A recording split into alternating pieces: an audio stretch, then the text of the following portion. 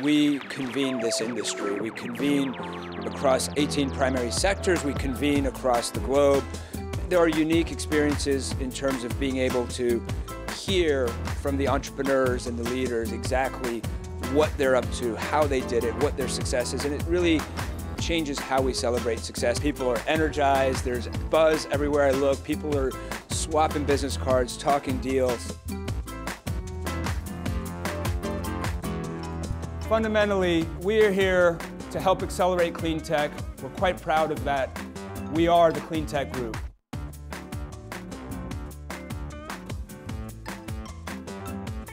I think that we have a room full of people that are absolutely committed to this sector, that absolutely see the huge opportunities that are ahead of us in confronting the world's biggest resource challenges. This is a good business, and this is a business of good people. This is a very unique place where it brings together folks who aren't talking to each other on a weekly basis. And I think, you know, that is central to our mission as we convene the industry and connect folks. You know, I believe these things should be fun, right? We're all humans. Uh, so coming to a place like this inspires people. Doing fun things like it's just another way of networking, going on tours. Uh, the first day is another way of breaking the ice. We're really re-establishing what clean tech is all about. And clean tech is embedded in a broader shift towards uh, a new kind of capitalism. And the idea of really being more efficient and essentially more resource efficient and essentially being more cost efficient because that ultimately is what it's going to be all about. So we're seeing a convergence of big and little, uh, innovators and, and, and, big companies. We're seeing a, a confluence of East and West, uh, Asia, Latin America, and, and Europe. And then we're seeing uh, new ideas about how we can bring things to scale.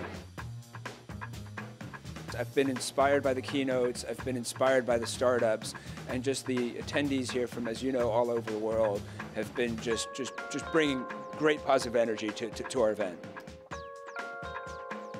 So in the next few minutes and over the next two, three days, as we talk about where, with whom, and how to become a global uh, clean tech leader. Well, it's the best place all year to meet people and that are important in our industry. It's uh, extremely complicated and it's global.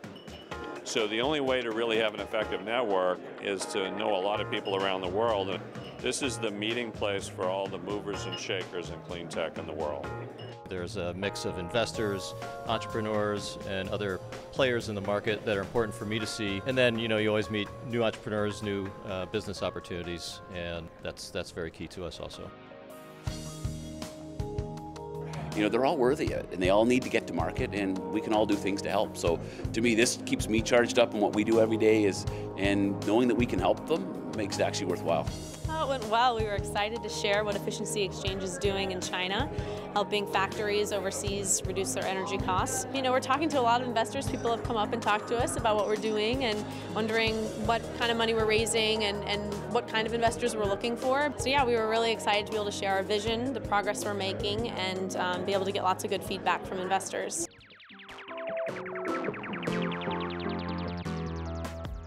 Welcome to the Gallon Awards dinner here at the Guggenheim.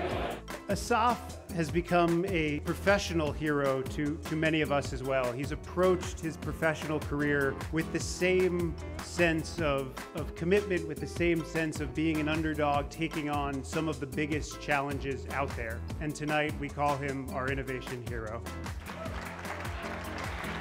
Very honored and grateful for this award. Thank you much.